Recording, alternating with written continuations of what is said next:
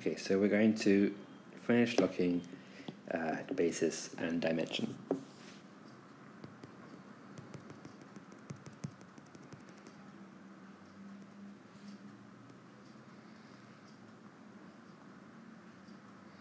So we were here. Okay, here the theorem. If V is an n-dimensional vector space, and S is a subset of V, V is an n-dimensional vector space, so typically, as an example, would be R to the n, or P n minus 1x, right? So polynomials of degree n minus 1 or less. And S is a subset of V that contains K, where K is greater than n elements, then S is linearly dependent. Okay, so S has got uh, V, V1, V2, all the way to Vn, but then it's got more things after that until you end up at Vk, because K is greater than n. Okay, then S is, oh, sorry, then S is linearly dependent. Okay, so a set that's bigger than, a set that's bigger than dimension is always dependent. Equivalently, if T is a linearly independent subset of an n-dimensional vector space V, then T contains J, which is less than n elements. Okay, so any subset that is any subset that is bigger than the, the dimension of the vector space is dependent. Any set, any set, whereas any set that is independent is smaller than the dimension of the subspace, smaller than the dimension of the vector space. Okay, or or equal to, smaller than or equal to. Okay, so there's that's what it says. There's two there's two things it doesn't say though. It doesn't say it doesn't say that if S is linearly dependent, it automatically is bigger, has more elements than the dimension. It doesn't say that, right? It says that if it's bigger, it has more elements than the, than the dimension, then it's dependent. But it doesn't to be dependent, it doesn't have to have more elements than, than the dimension. That's obvious, right? For example, it could be the set containing just a zero vector, which is automatically dependent, or it could be a set with just two vectors, which are scalar multiples of each other. Then it also doesn't say it doesn't say it, then it does then it says that, that every independent subset has no more than n elements. Says that, but it doesn't say that every subset that has no more than n elements is ind- is independent. Again, that's obvious, right? You would have a set with n elements in it, but some of the elements are scalar multiples of each other, or linear, linear combinations of each other, or one of the elements is zero, and that set would be dependent. Okay. So maybe I could summarize this by saying so in this context, the dimension of V is n, right? Dimension of V is n. And then we have, now, if S, which is a subset of V, has more elements than the dimension of n, so let's just write like that. If the size of the number of elements in S is bigger than the dimension of V, then S is linearly dependent. Whereas if we write this way, if T is linearly independent, then the size of T is less than or equal to the dimension of V. I'll suddenly try that now. Okay, so it's saying those two things, but it's not putting an arrow, oh, sorry, but there's no arrow in that direction, there's no arrow in that direction, just in those directions I've written down, right? Okay, that's what this theorem is saying. Okay. Now we have a proof, really. And when we've done that proof, we'll be done with this. We'll be done with this chapter, in fact. Okay. Okay. Let V be an n-dimensional vector space. Okay. Consider a basis for V for example, a basis will have to have n elements. We've proved that previously. Let now let T be, be a linearly independent subset of V. Oh, so we're doing the second part first. We're showing that if T contains if T is independent, then it contains no more than n element, no more than n elements, no more than n vectors. Let T be a linearly independent subset of V with j elements. We're not saying anything about j yet, but we're going to try and show that j is less than or equal to n. So first of all, we make a new set. Okay, this set b tilde 1, b with a funny thing on it, 1, is, well, it's, it's got t1 in it, and then it's got b1, b2, so it's got, it's got the first thing in from t, the first vector from t, and then it's got all of the vectors in, in, in b naught, all of the vectors in the basis. So it's going to have n plus 1 elements, I can say that for sure. So that the size of b1 is n plus 1, right? Okay. Whereas the size of t was j and the size of b naught was n. Okay. Since b naught was a basis for v, we can express t1 as a linear combination of the vectors in b naught. Right, okay, of course, because b naught generates v because it's a basis.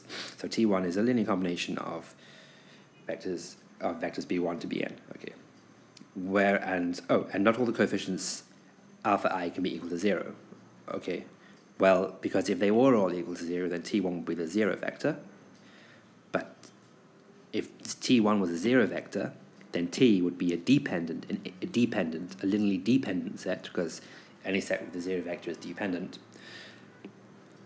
And we said that t was independent. Okay, so not all a alpha is equal to zero. Okay, so one of them, let's call it alpha p, is non-zero. Okay, so then we can rearrange and then divide through by that probably, yes. So you bring what you you rearrange by saying while you take the the one with coefficient that's not zero to that side, then you have the sum but you've got to leave the p out of the sum. Okay, so but now by this I mean, oh, put underlines there. So it's a vector. This this sum now is the sum from from i equals one to n, where i is not equal to p. Okay, then we have we still have. Wait, I took the, oh, now I need to, I need to bring the, the T1 over to the side. Okay, of course. Okay, I mean, th this is just straightforward from that. Just a rearrangement of that. Now, if the alpha p is not zero, I can now divide through by minus alpha p because it's not zero. And so then I'm going to get, oh, sorry. Then I'm going to get BP equals, so divide all of these terms in this sum by minus alpha p, so then I'll get alpha i over minus alpha p times by the vector bi, and divide minus t1 by minus alpha p, of course, then you'll get plus. I don't want to put t1 over alpha. That looks like you're dividing a vector. You don't really divide vectors. You multiply vectors by scalars. Sometimes the scalars are themselves reciprocals of real numbers, but you know, don't divide vectors, just multiply vectors. Okay, uh, so multiply by 1 over alpha p T1. Okay, and that's exactly what they've got, right? Okay.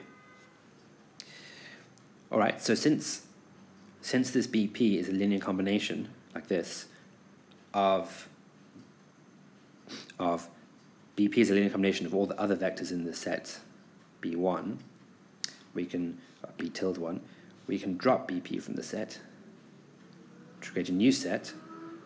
Okay, so now we have T1 and B1, we just we just B1 is exactly the same as, as this B1 tilde, but with um, out the BP. Now, this set is a basis for V, since it's linearly independent, and it still spans V. Well, okay, it still spans V. Spans is another word for generates. It still, so it still generates V because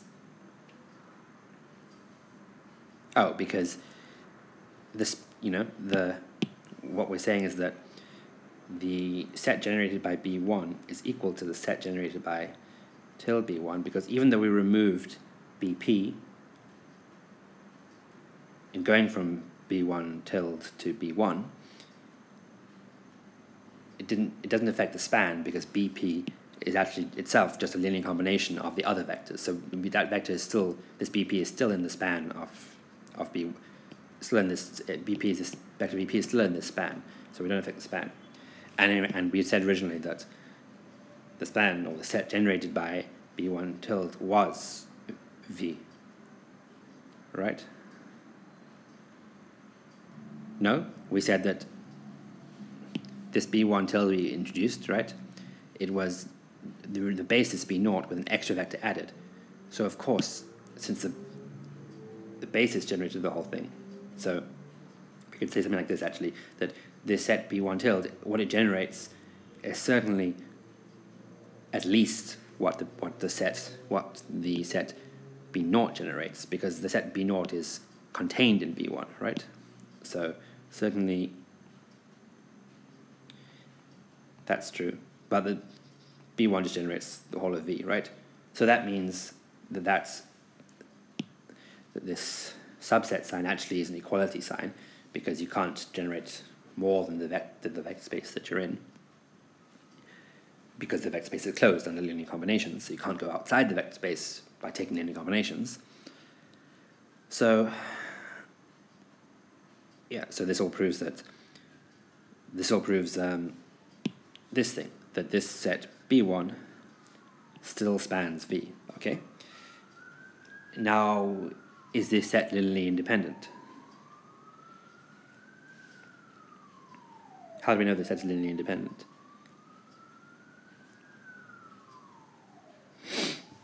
Okay, so certainly this set, this beat that B naught, that was chosen to be independent. T was also chosen to be independent.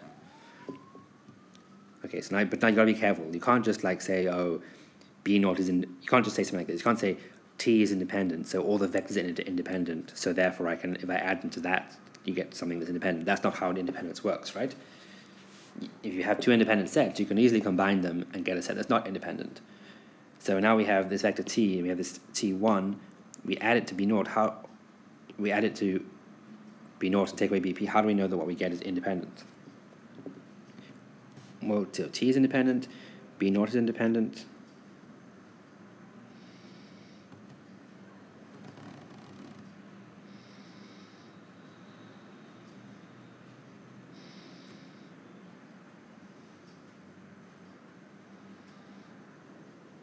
T1 is a linear combination of the vectors. T1 is a linear combination of the vectors and B naught. Hmm. I'm not feeling this because look, couldn't we, we chose this basis B naught for V. When we chose T to be linearly independent subset of V, there's not, there was nothing stopping us. There was nothing stopping us saying that maybe T was, you know, it was T had consisted of B1 itself and then B2, and then maybe some other things. And nothing, nothing stopping that being the case, right? And then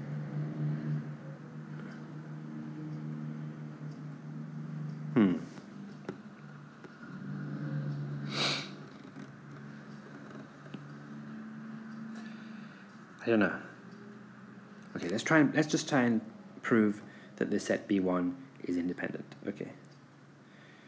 So we're trying to prove that the set B1 is independent. So to prove that, you've got to take a linear combination of the things from B1 and set it equal to 0, right? So let's take a linear combination of the things from B1. So let's call it, let's start with, let's just have a, maybe we'll call it, um, beta 1 times t, no, let's have, this is called call beta times t1 plus beta 1 times b1. So the beta 1 has no relation to the beta, all the way to beta p minus 1 of b p of b uh, of b yeah. You know what? Actually let's write it like this. Beta 1 times b1 plus all the other up until you get beta p minus 1 of b p minus 1. Then let's put in, stick in the, the t, beta, beta p times t1. And then let's have beta p plus 1 of b, p plus 1, all the way till you get beta n of bn. Okay, so those are the vectors there. I'm underlining them. The vectors, and then we have the scalars. Okay, so that's a linear combination, and we're saying that linear combination is equal to 0. Okay, now, if this set is B1 is going to be linearly independent, we're going to be able to prove that all those scalars are zero, right? Okay. And somehow to do this, we probably want to use the fact that B naught was independent and maybe maybe that T maybe also that T was independent. Okay.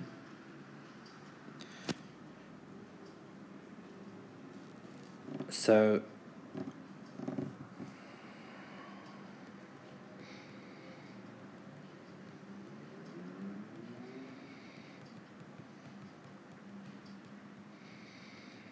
Ah, wait a second. T1 is itself a linear combination of the vectors in B naught. Does that help? That does not help. No. Hmm, wait a second. T1 was a linear combination. T1 was a linear combination of the vectors in B in, in B, and the coefficient in front of the BP was not zero. So it's that that somehow makes T1 independent of all these other vectors. Yes, okay. So T1 is this linear combination, okay, where alpha p where alpha p is not equal to zero.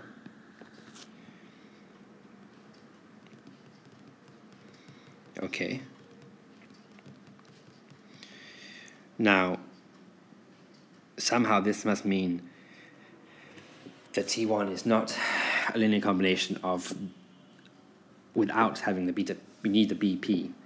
The without, without that, you can't have a linear combination. Mm. So I know that's the case because I know that every vector can be expressed in a unique way uh, as a linear combination of things from a basis. But we haven't actually, I don't think we've seen that, a theorem like that yet, have we? I mean, I'm not sure why, that seems like an important theorem.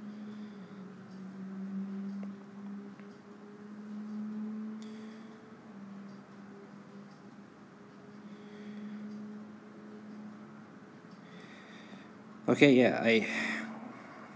Okay. Right now, I don't see any way to do this,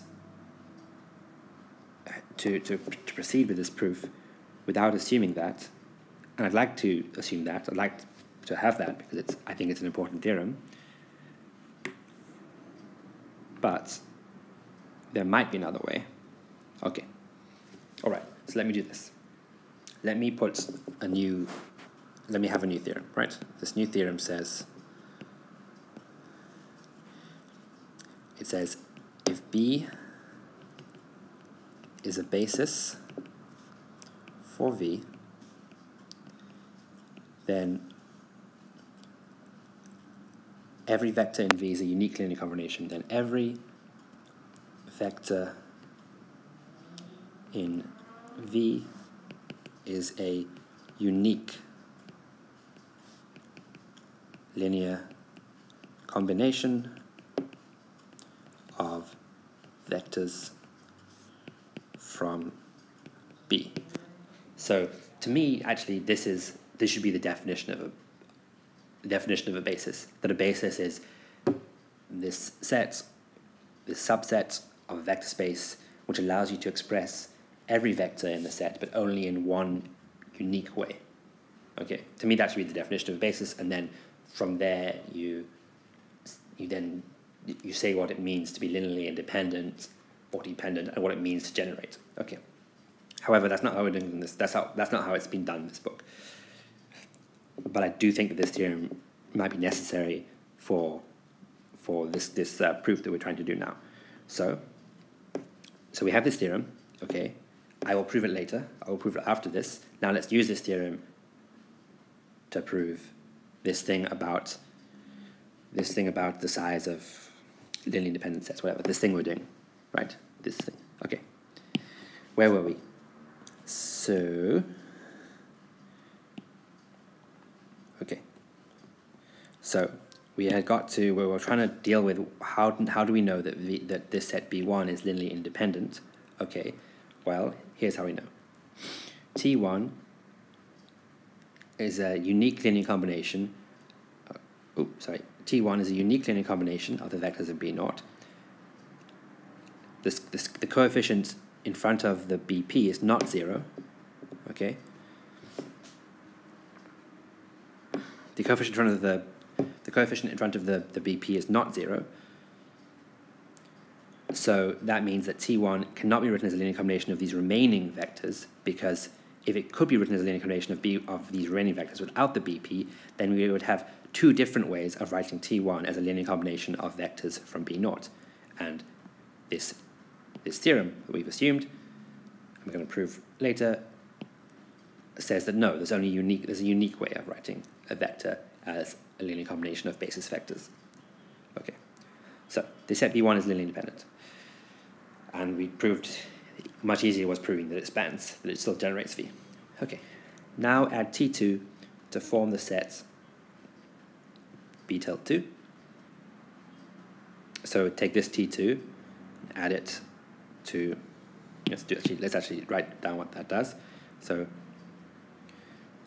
B2 tilde will have, it'll have T1, it'll have T2, and then it'll have B, B1 or B2 all the way to BP minus 1 and then BP plus 1 and then all the way to Bn. So it's going to have um, m plus 1 elements again. Okay? But now we added T2 and then we do the same thing we did, we did here where we express T2 as a linear combination of the elements of B1, which we can do because B1 is a basis, and then there's a unique way of doing that, we drop one we drop the, the one of the elements which has BQ say which has a non-zero scalar, just like we did above, and thus we get a new basis B2, right? Which B2 is contained in B tilde 2, but it doesn't have the BQ, right? Where BQ is something, you know, the, the BQ, Q is not equal to P, by the way. B, BQ is uh, one of these vectors that was in, one of these B vectors that was still in B2 tilde. Okay? And we carry on doing this, and eventually we'll have added all the elements in T to our new basis. Okay? You just carry on doing that. Okay? Note that we will be never forced to pull out one of the elements that we previously added. Oh, right. Okay, so what they're saying is that you, you'll never have to, you'll have, you'll express T1 as a linear combination of, you'll express, so you express T1, sorry, you expressed T1 as a linear combination of the other vectors. Then you're to why will we never be forced to put one of the elements that we previously added? So sorry, so you have to, so let's actually do this second step in more detail. Okay.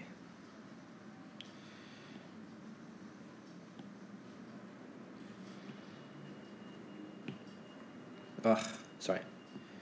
Okay. I'm trying to, so now I'm trying to understand this remark. Oh. We will never be forced to pull out one of the elements that we previously added. Okay. So we have B1. We add T2 to get B2 tilde. Okay. I need a bit more space, I think. We have B2, we add T, T2 to get B2 to, to get B2 tilde. So now we have T1, T2, B1, all the way to B, P minus 1, and then BP plus 1, so we don't have BP, then all the way to Bn. Okay. Now, we express T2 as a linear combination of, of what? Well, you can certainly express T2 as a linear combination of the elements of B1, right? Because B1 is still a basis, right? This, this, uh, this B1 is still a basis. So T2 is certainly T2 is certainly equal to um, let's call it, yeah, let's call it, let's use alphas again because we used alphas above. So something equal to alpha, let's write it like something equal to alpha 1 b1 plus, ah, let's do it like this. It's equal to this sum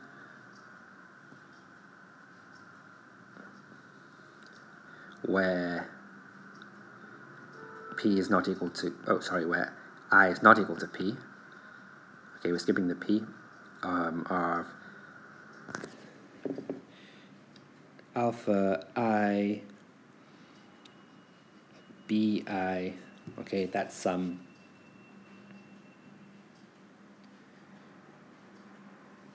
um, but also we need the it might it might also involve the T1, right? Because it's the set which contains the set which contains B1, this whole set which contains all of these and T1. That's the that's the basis that we're working with now.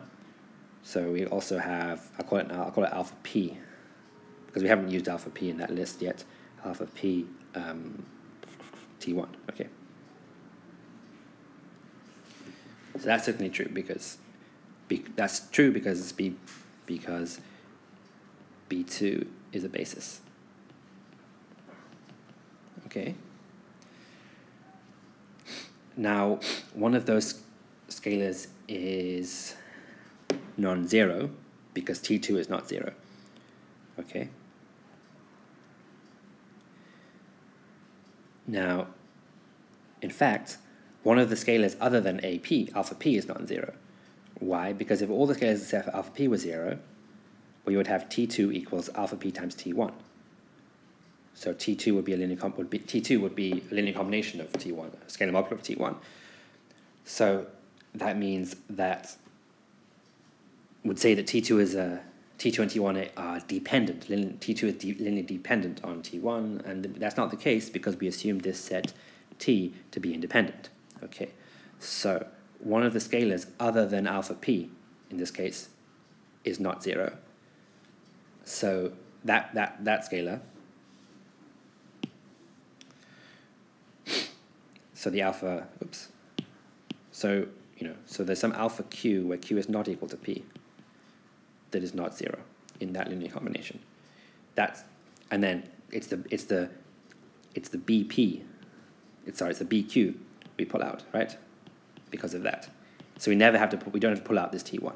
Now, if you do the next thing, if you do the same thing with T3, you'll have like T3 is a linear combination of, now I is not equal to P or Q, there's alpha i b i plus, and now you'll have alpha, I'm going to call it P, alpha p T1 plus alpha q T2. That, that your new basis will have T1, T2, and all the B's apart from, all the BI's apart from BP and BQ.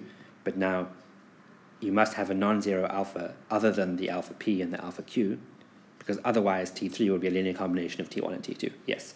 So in this way, we're never forced to pull out one of the elements we previously added. We're never forced to pull out a T. We're always able to pull out a B. Okay.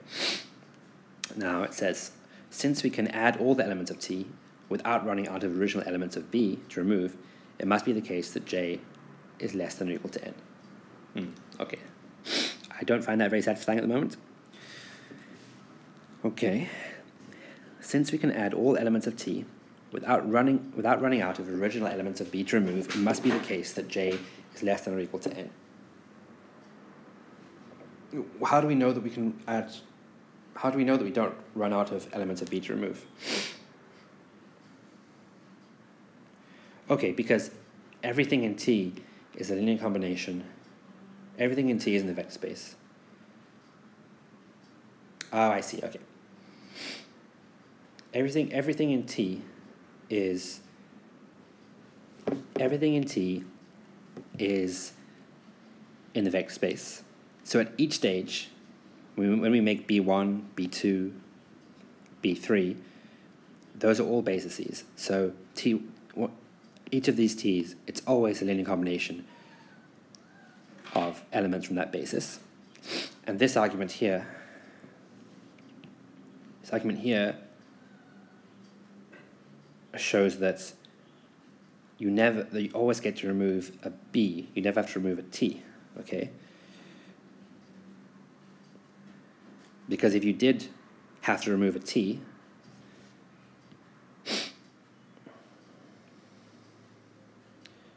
I mean, how do we know that this sum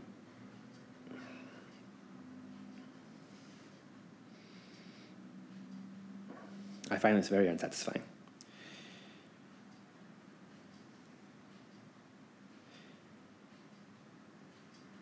Uh, it feels to me like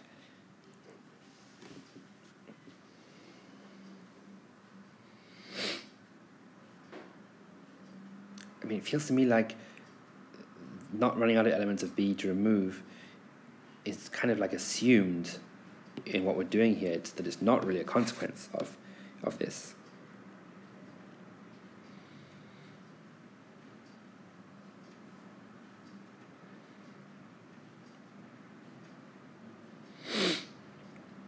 Okay.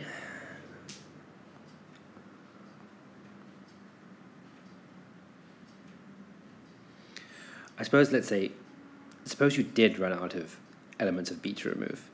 So you came to you came to a T where you'd added the you added the T, right? So you had you had like B um, and we do it's like B one, you had B B two, B three, and now let's say you got to BK, right? And you you now you'd added like a bunch of the T's then you'd added all the way up to TK, right? Yes, you'd add it all the way up to TK, okay. And you still had some, suppose you still had some B's, okay. So you still had some, um, some B's left. I don't know which B's you have left. Let's say you have BI left. Yeah, BJ. Oh, let's say, sorry. You have suppose you have uh, yeah, you have you have some b's left. Okay, bi, bj, whatever. Okay. Now, when you express tk at this stage, oh, you, you, now you make the sets. Ah, no, I should rather not rather looking at bk. I should look rather at b tilde k. Okay, this is the set from which we're going to remove something. So here you have T1 all the way to TK. And then you also have you have a bunch of B's, okay? Never mind for now how many B's you have. You have some B's, okay? I mean, never mind which ones they are.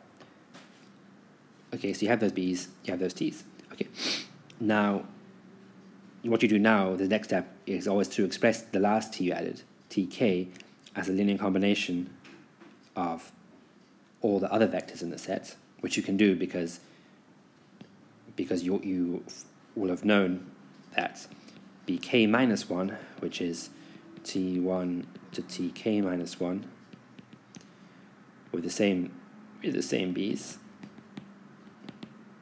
that's the basis. Okay, so you express the, the you express the tk as a linear combination of the other vectors in in BK, okay, because of this, okay, then you drop one of the scale, one of the, you drop one of the, one of the, one of the coefficients is not zero, and this argument down here shows that, this argument over here, we don't through over here, shows that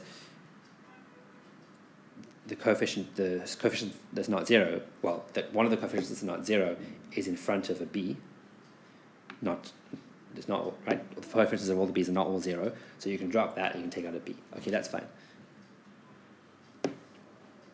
Now suppose you get to a stage where you only have you have all the you have added some t you've added all the tks, okay. You've added, t, you've added up to tk, which and you haven't. There's still some more t's to add, but you just have one b left let's just assume that it's B1 you have left. It doesn't make a difference what number it is. Suppose you have B1 that's left. Okay. Now, you know that you can express T, express, so you express TK as a linear combination of the other vectors in that set, B tilde K, and then you drop you drop a coefficient, you, so you, you find the coefficient that's not zero. Well, there's only one, it must be in front of the B1, because otherwise, if it wasn't in front of the B1, then TK would be a linear combination of the other T's, and it's not because T is a linearly independent set. So that means you can drop the B1. Okay, so you can drop the B1. And you go to T1 to TK. So you drop the B1, right? Oh, so move, in moving to BK plus 1, is that what we call it? Generally call it? Moving to to, to, to no, in moving to BK, right, of course, yes, we drop. We, it's the B1 that we drop. And so now we only have Ks left. We only have Ts left, sorry. So this argument shows that we would run out of Bs before we run out of Ts. Because we can, we can never remove, we can never remove, this procedure only removes Bs, it never removes Ts. Okay, now, however, if this procedure is going to, every time you add a T, it's going to remove a B, okay? And it can never ever remove T's, it only removes B's, okay? So if every time you add a T, it removes a B, and it can carry on it, at removing all the B's, then there must be more T's than B's, or at least as many T's as B's. So it must be, yes, it must be that. No, sorry. If this procedure every time you add a T, you're able to remove a B, right? So there must always be a B to remove in this procedure. So we've, we've verified this, this, this procedure, each, that this procedure, each step, each time you do a step, you can, you can do the next step. You can add a T and remove a B. But if every time you add a T, you, you remove a B, there must be a, for every T you add, there must be a B there to be removed. So there must be at least as many B's as there are T's. So the number of B's, n, must be greater than or equal to the number of T's, j. So j must be less than or equal to n. Yes. Okay, that's cool. Okay, so so I, at the moment, I do not like this proof. I would probably try and find a different proof if it was important to me. And I also figured out, well, I also think I figured out that this proof requires, has something missing from it, and what's missing from it is this theorem that if B is a basis of V, then every vector is a unique linear combination of vectors for B. Furthermore, I think this theorem, well, I think this theorem is important. It's very important in its own right, and so I want to prove it for its own sake. So in the next video, I'm going to prove that theorem. And however, I'm especially interested to hear if you can figure out how this proof can work without this theorem, like the book, like this set of notes seems to imply. Furthermore, I'm very interested to know nicer proofs of this thing. Oh, shit, wait a second. I haven't, we haven't, I've, I've, we've, we've gone through the proof, we've got, we're happy that j is less than equal to n how does that prove this, this these two things here? Okay, so the two things are that the two things are that if s if the, if the dimension of s is bigger than the dimension of v, then s is linearly dependent. And if, if the size of sorry, if the size of s, the number of elements in s is, is bigger than the dimension of v, then s is linearly dependent. And if the number of elements in t is less than or equal to the dimension of v, then t is linearly independent. Okay, but these two things are very related to each other. So all, all we've actually directly, all it seems like all we've proved is this one, right? About the number of things in T being less than or equal to the num the dimension of V if T is linearly independent. But notice this, okay, and this is a really important thing, I think. Really important technique, right? If you have, if you have, actually, you know what? It's so important that I think I'll make another video on it.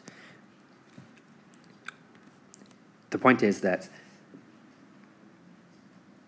one of these thing these things are contrapositives contrapositives converses i can't remember it doesn't matter these things these two things are logically equivalent because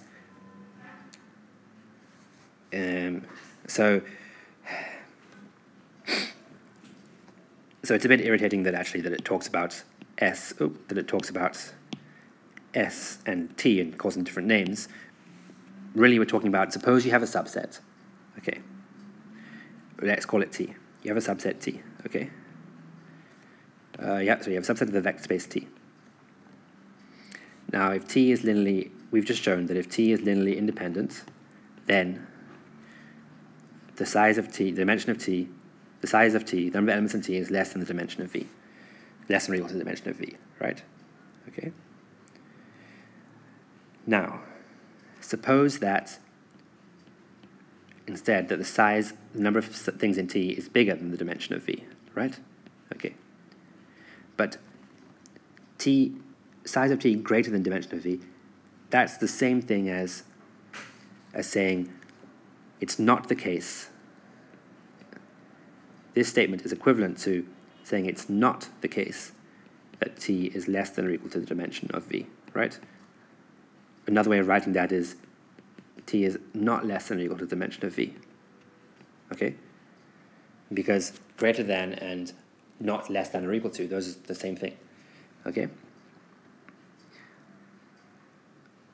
So if we have if we have this, we do not have this, right?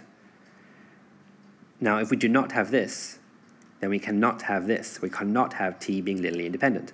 Because if we had t being linearly independent, we would have the size of t being less than or equal to the dimension of v. So if we have, if we don't have this, if this is not true, then this can't be true. Okay. So if if the size of t is greater than the dimension of v, then t cannot be linearly independent, right? Okay, t cannot be linearly independent. Not the case that t is linearly independent. But what, is not, what does not linearly independent mean? It means the same thing as linearly dependent. Linearly independent and linearly dependent are opposites each other. So in other words, if the size of t is bigger than the dimension of v, then t is linearly dependent. So the, the thing is basically that this statement is the negation of that statement, and this statement is the negation of that statement. So this is a, the pattern basically is we had, we proved alpha implies B, okay? Sorry, we proved A implies B, okay? But that's actually the same thing as saying that not B implies not A. Okay. Yes. If you prove A implies B, then it's the same as saying not A, not B implies not A. Now for me, I'll make another video going more into more into more depth about this logical equivalence, okay, or and how I personally uh, understand it. And I'm also need to make another video where I prove this theorem. Okay.